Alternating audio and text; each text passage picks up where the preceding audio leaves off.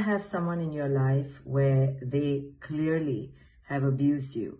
They have physically hurt you or damaged you or your property or emotionally slandered you or stolen from you in front of your eyes, but don't take accountability.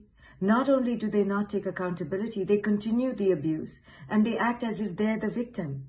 Well, if you're scratching your head or if you're in deep despair wondering why people can be so evil, cruel, vindictive, revengeful, well, stop scratching your head. The answer is very simple. This is not about you. This is not about you in any personal way, although you should protect yourself. Call a friend. Stay at your mom's house. Call a lawyer. Call the police. Do not passively ignore the abuse. Love yourself enough to protect yourself. However, don't think this is about you.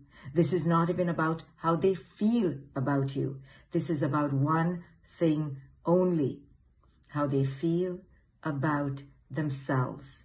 People who are cut off from their heart cause wreckage to those in the external world because they do not connect to their own feelings, so do not understand other people's pain because this is what was done to them.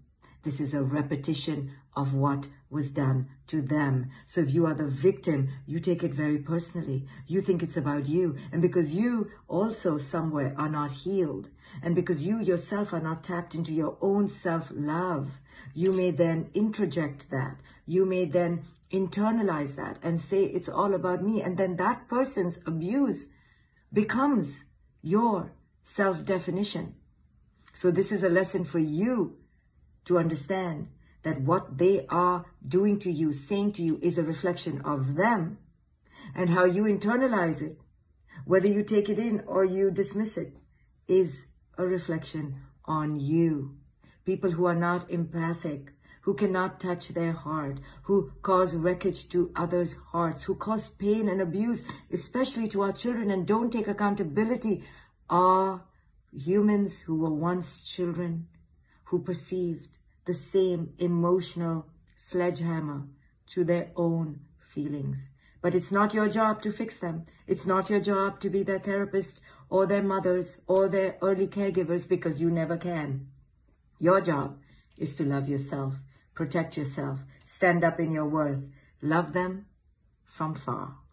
Understand it's not about you. It is all and only all ways about them.